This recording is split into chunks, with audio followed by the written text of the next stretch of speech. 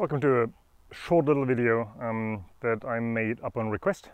Uh, I was asked by a few people to show how you get the trunk into the um, service position, whatever you want to call it, where the trunk is basically tilted back and then but also opened at the same time.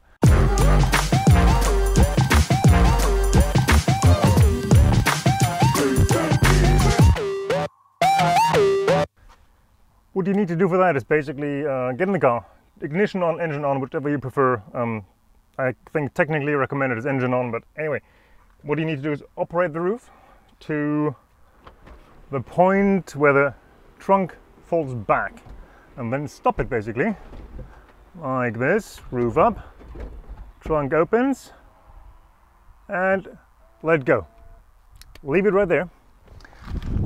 Now, I'm gonna have to fiddle a bit, so I'm gonna bring you in closer.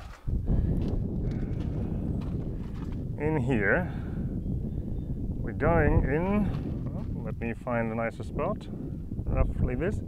Yes, maybe I can adjust it so you can see both sides. Uh, come on, almost. There we go, more or less.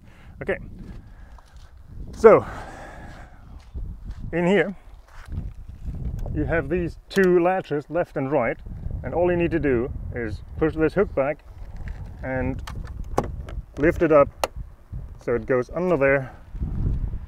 And then you do the same thing over here. Don't bang your head anywhere that's what I like to do.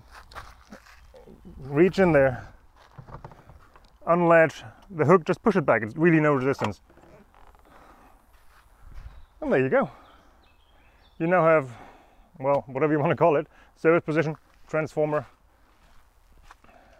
Oh actually yes let's zoom out so you can actually see this yeah as you can see this is now in both ways open it's really helpful to uh, get to seals to linkage um, this is the hooks that we just pushed back as you can see they really don't have any resistance they're just lightly sprung um, it's really nice to get to all these seals here.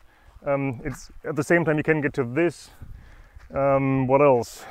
This mechanism if you need to adjust these flaps here, if something pops out here. Um, same for these flaps, obviously, now that it's in this position. Oh, and if you don't want the roof to complain in a minute, ignition, turn it off, take the key out.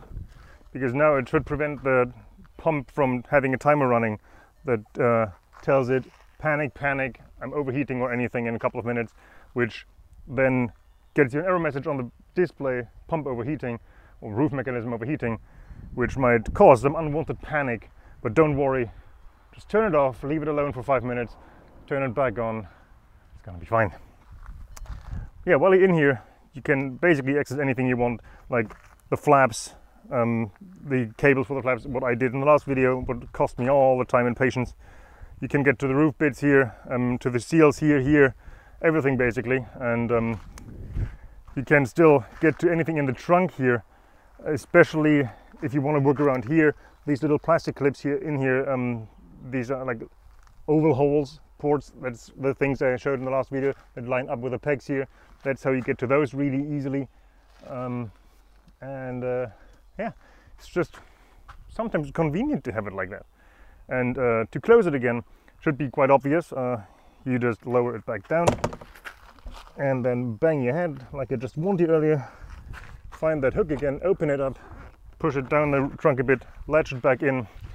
I'm gonna show you on the other side. It's really, really easy. Okay, now you can actually see it. So, go in here, push this, lift this up a little bit so that push it in, push it back down, make sure it's all the way down, both sides. That's it, now you just close the roof again. And um, that's how you get that into this position.